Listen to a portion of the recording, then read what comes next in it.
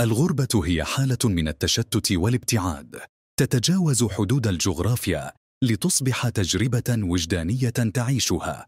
النفس بعيدا عن المكان الذي انتمت إليه يوما. أن تكون غريبا يعني أن تعيش بعيدا عن كل ما هو مألوف ومريح حيث يصبح الوجود نفسه تحديا يوميا. الأصدقاء العائلة اللغة وحتى العادات التي تربيت عليها تتحول إلى ذكرى بعيدة. تراودك في لحظات الصمت والفراغ.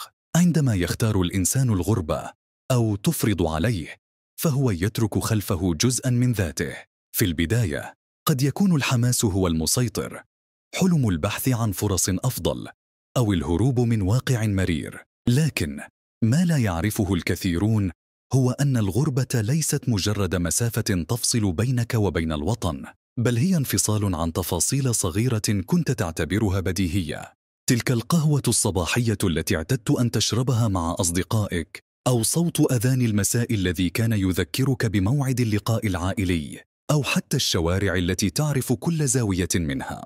العيش بعيدا عن الوطن يعني أيضا البحث عن هوية جديدة. يصبح الفرد محاصرا بين الثقافتين. ثقافته الأصلية التي يحملها معه كعباءة تذكره بمن هو وثقافة البلد الجديد الذي عليه التأقلم معه. قد يجد نفسه مضطرا لتغيير بعض العادات أو تقبل أمور جديدة لم يكن يوما يظن أنه سيقبلها. وقد تلمس مشاعر الغربة بشكل أعمق. عندما تمر بمواقف صعبة وأنت وحيد في بلد غريب قد تحتاج إلى حضن الأم أو نصيحة الأب. ولكنك تجد نفسك مضطرا لمواجهة كل شيء بمفردك. حينها تدرك أن الوطن ليس مجرد مكان بل هو كل تلك العلاقات التي تدعمك في كل لحظة. ومع كل هذا تتعلم شيئا مهما. الغربة تعلمك الصبر والقوة والاستقلالية. تكتشف في نفسك قدرات لم تكن تعرف بوجودها. تصبح أكثر تقديرا لكل شيء كنت تملكه في وطنك. وتفهم قيمة الأمان الحب والانتماء.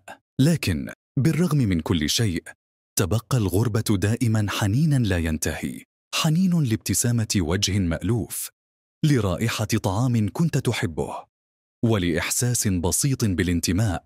وربما بعد سنوات طويلة من العيش في الغربة تدرك أن الوطن ليس فقط المكان الذي ولدت فيه بل هو أيضا حيثما وجدت الحب والراحة والسلام الداخلي.